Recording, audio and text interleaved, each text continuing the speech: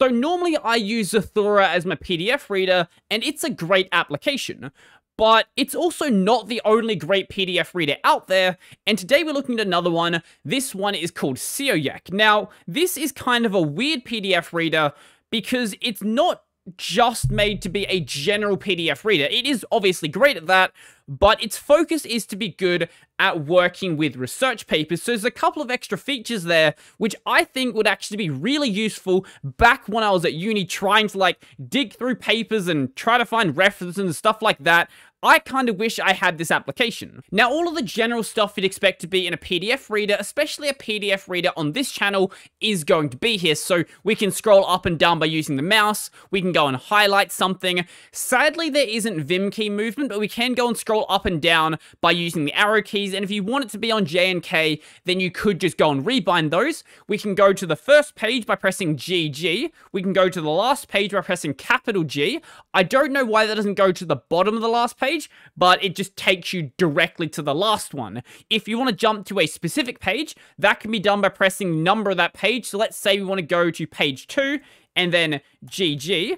And you can search for stuff by doing either Control F or by doing slash. So if I want to search for something like the, and then we can go and cycle through those by pressing N, or we can cycle in the other direction by pressing Shift N, but all of that stuff is what you generally expect to be there. So what actually makes this focused around research papers. So one of the features is if we go and highlight something, let's say this right here, and then I go and press double S, that is actually going to open up a browser window and search for that highlighted text inside of Google Scholar. And amusingly, it brings up something about the X window system, which wasn't actually planned, but it is certainly a nice coincidence. Now, if you don't like Google Scholar and instead would rather search on something like LibGen, that can be done as well. That is done by pressing SL.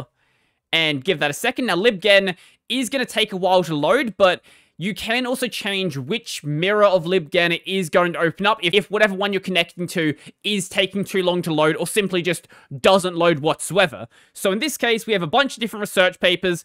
No idea what any of these actually are, though. Ignore the fact that my video looks very different. I may have made a mistake when I recorded this a couple of weeks ago. So there's actually a couple of really interesting actions on the middle mouse click. I don't see middle mouse getting used that often, but in this case, it's used in a pretty cool way. So if we see, let's say, a figure number, if we go and middle mouse click on the figure number, it's going to jump us directly to that figure. The middle mouse click also provides another way to go and search for something inside a Google Scholar or LibGen. So if I go and middle mouse click on this right here, it's actually going to go and open up my browser and search for that text inside a Google Scholar. If I go and shift middle click, it's going to do the exact same thing, but this time over on LibGen. The way it breaks up the text is very dependent on how the document is actually written, so as you may have seen there, it included John Wiley's name as well as this comma here. That's just how these references are done. If they're done in a way where those elements are not included in the same group as this, then it won't include those. Now, if we want to open up a new PDF, that can be done in a couple of different ways. Obviously, we could go and run it from the terminal and pass in the file name, or we could like run it from a file browser and open up a specific file, but we can actually open up a new file from directly inside of the application. So if we want to do that, if we press O, that will bring up a file browser where I can go and find exactly what I want to go and open up. But the other thing we can do is if we had a PDF or an EPUB opened up earlier, if we press Shift O, that brings up a list of everything we've previously opened. So let's go and open up thesis.pdf, which is a random paper that I went and downloaded from, I don't know, some website out there. I didn't mention this early, but we can go and zoom in and out by using the minus key to zoom out and then the plus key to zoom in. Now, normally in this configuration, pressing equals is going to set the scaling back to 100%. It doesn't do that here. Instead, it just acts exactly the same way as minus. I don't know if that's a bug, but that's how it works. Also, if we hold down control and we scroll with our mouse wheel, that will also let us zoom as well. I always like it when that feature is an option there. Sometimes I have my hand on my mouse and it is just easier to do it like that. Now let's talk about marks and bookmarks, which sound very similar, and during my initial testing, I couldn't work out why they both existed, but there actually is a really good reason for them, and that is just to basically give the user some choice. So a mark is going to let you mark a location in the document, and that is going to be bound to a key. So let's say I want to mark, I don't know, this spot right here. So if I go and press M, and then press some other symbol after that, so let's say T. So that location is now going to be marked. If we scroll somewhere else in the document, and I go and press back tick, and then T again, that is going to jump us directly to that location. And from what I can tell, there isn't a limit for how many of these you can actually have. So as for bookmarks, they produce basically the exact same result, but the way they work is slightly different. So let's go somewhere else in the document. Let's say this point right here. So if we go and press B, that is going to prompt us to actually add a name for the bookmark. Let's just call this one, I don't know, uh, treatment, for example.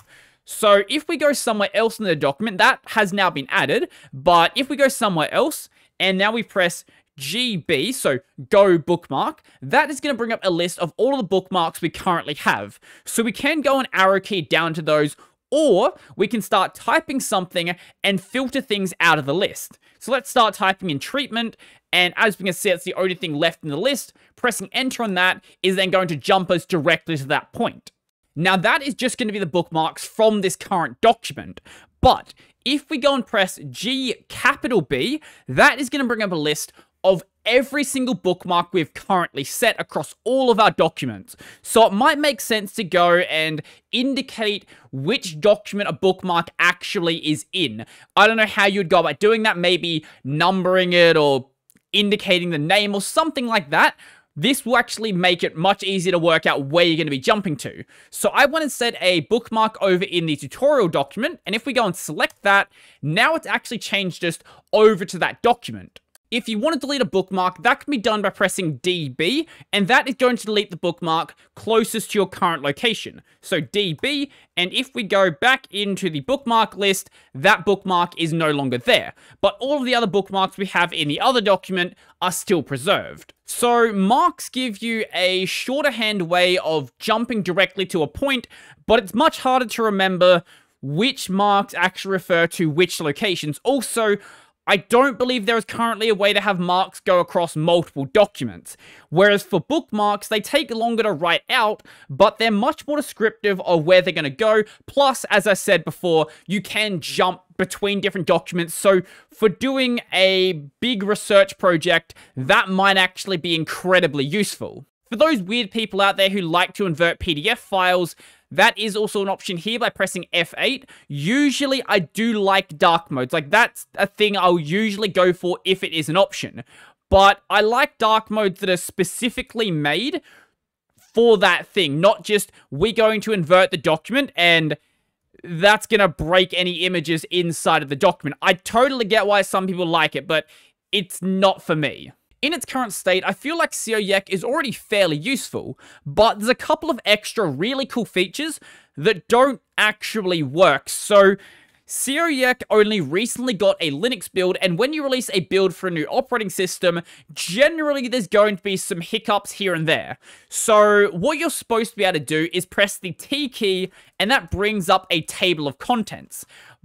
This document does have a table of contents in it, so there's no reason why that shouldn't be working, but no matter what I try, it isn't actually working. And even if that doesn't work, there's supposed to be a command called go to underscore TOC that takes you to the table of contents, but even that command isn't actually working. So I didn't mention this before, but every single key binding is mapped to a command inside of the application. You can go into command mode the same way you do in Vim by pressing the colon key. Now, if you go and press F12, there's also this helper window which I guess the way this is supposed to work is as you scroll down the page, sometimes the figure that you're looking at in the paragraph you're on is not going to be visible. So this second window should be showing you that figure, and then when you scroll to the next page, or when you scroll to the next figure reference, it'll show you that next figure this window is just forever linking, and I don't know how to fix that. I think this is one of those other problems which doesn't seem to be currently working inside the Linux build. I've tried this with other documents and I haven't had any luck getting this to work. Now, I haven't tried the Windows version, but judging by what you see on the Sioyek website, this seems like it was tested over on the Windows version where all of these features actually are working as they should be. So as you can see, as you scroll down the page, it's going to go to the next figure and then the next figure, so on and so forth. Once again, that would be a really cool feature. All of these features that currently aren't working, I think would be very, very useful, and I really want to see them actually working on the Linux build. If they do start working, I might have to just switch to this application. I know Zathura has a lot of other really cool things you can do, but I don't use most of them. This does everything I would want. Now, if you still like Sioyek in its current state and you want to go and configure it, there is four config files. We have keys, keys user, prefs, and prefs user. Basically, keys and prefs, those are going to be the global configuration, and then the user variant are going to be the ones you actually want to modify. The documentation, though, doesn't tell you where these are located. Luckily, though, there are commands inside of the application to actually open these up. So if we go and run keys, that is going to open up the global keys configuration. You'll want to copy this over to the keys underscore user, which is going to be located in possibly the dumbest location you will ever see. So this is in .config. I'm actually going to show you this. So this is in .config .local share Sioyek. Not get rid of all of this and just put the Sioyek folder directly in the config. No, it creates its own .local and share. I think you understand the concept of Linux configuration files, but you got it lost in translation somewhere. So keys user.config is going to be where you configure your keys. The way this is done is fairly simple. Basically, the name of the command, and then after that, what key you want it to be bound to. And there is actually documentation inside of the config file, and I always like to see this. This is always nice to have there for new users. So you can rebind basically anything you want in the application to pretty much anything you want it to be. Now, as for the other file, that is going to be things like, hey, what do you want the background color to be? What do you want the highlight color to be? How much do you want the scrolling to move? How much do you want to zoom by? All of this general basic stuff. And can I just say, this is the greatest variable name I have ever seen. It is 39 characters long, but it does its job. It explains exactly what it's going to do. So I really hope to see the problems with the Linux build actually get ironed out because I think this is a really cool application. And if you don't want to be using Zathura where if you want to do a lot of this stuff, you probably will have to go and configure it yourself, or in some cases, you might not actually be able to do it. This, I think, is a pretty good choice for a middle ground between the really heavy PDF readers and extreme minimalism. If you like this video and you want to support the channel and become one of these amazing people over here, please go check out my Patreon subscribe style Pay, linked in the description down below. I've got a podcast called Tech Over Tea available basically anywhere. I've got a gaming channel called Brodie Robertson Plays where I live stream twice a week, upload about five or so YouTube shorts, and this channel is also available over on Odysee. That's going to be it for me, and I'm out.